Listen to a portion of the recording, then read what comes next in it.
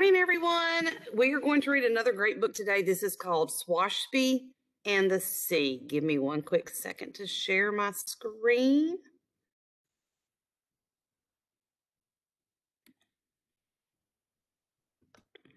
And here we go. This is Swashby and the Sea by Beth Ferry. This is such a good one. I love this story. Captain Swashby loved the sea. The sea and he had been friends for a long, long time. She knew him in and out, up and down, and better than anyone. So when Swashby retired, it was to a small house on a small beach as close to the sea as he could be. Whenever he needed something, the sea provided exactly the right thing at exactly the right time.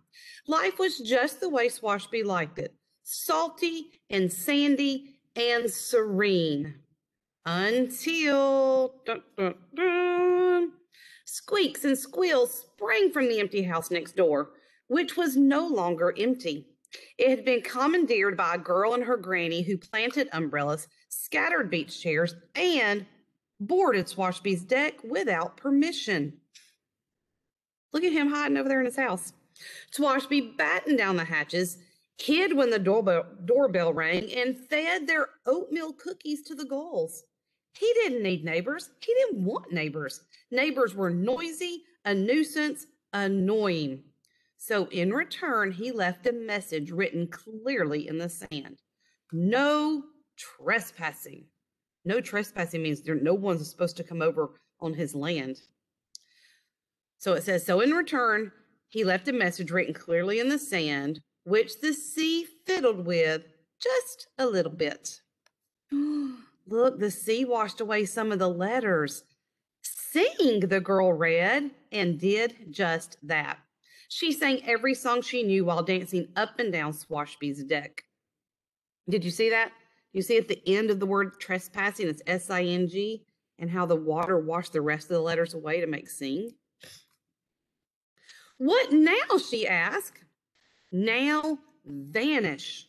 Swashby wrote later that evening, adding a starfish exclamation point. And the sea fiddled just a little. Oh, let's see what it makes this time. Do you see that up in the top right corner? W I S H. Wish the girl read, picking up the starfish, and did just that. She closed her eyes and began, I wish. No, no, Swashby interrupted, stomping down the steps. If you mean to make a starfish wish, you must say this. Starfish back to wave so blue, the sea will see a wish come true. How lovely, Granny said. We wish you would come for a cup of tea, Mr. Swashby. But Swashby wished to be left alone, so he grumbled and mumbled and hurried inside. He didn't need tea. He didn't want tea. Tea was civilized, friendly, and neighborly. What he needed was a new message. Please go away, he wrote firmly in the sand. And once again, the sea fiddled just a little. Oh, you see what it says now? P L A Y. Play, the girl shouted out, and did just that. With Swashby's shells and stones, with his buckets and shovels, but her towers kept falling. Barnacle bottom, Swashby muttered, marching out. You're doing it all wrong. You must not use the sun-baked sand. It's the sea sand that does the trick. And he showed her how to dig for the wet sand below. Think, but Swashby was gone. Before long, amazing sculptures decorated the beach.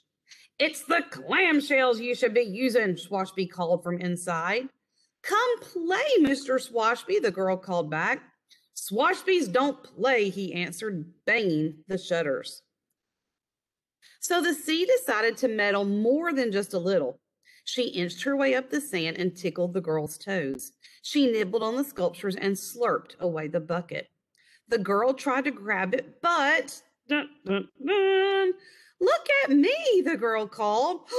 look at her, Granny gasped. Oh dear, look at her. Granny hurried to the water's edge, but dun dun dun. Now, even though right now the girl's smiling like she's happy, she's in a dangerous position right now because the sea's taking her away. Swashby was already there. What are you? What are you? Uh, let me start that one over. What are you up to, you, you great simp, salty imp? He asked, scooping up the girl and the bucket. With a great big wave, the sea delivered the pair back to the shore.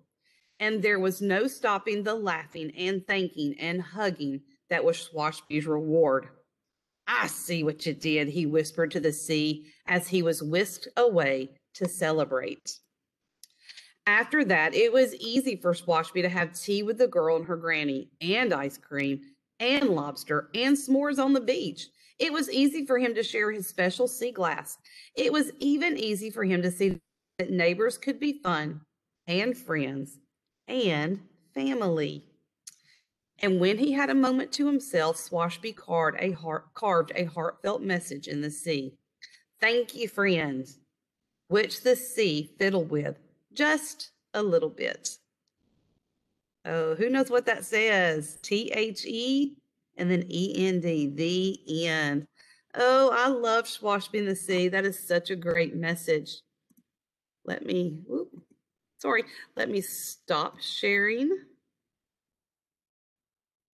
Okay, so this book is going to be battling Evelyn Del Rey is moving away. So if you've watched this one, then go watch Evelyn Del Rey is moving away and then vote. Thanks, guys. See you later.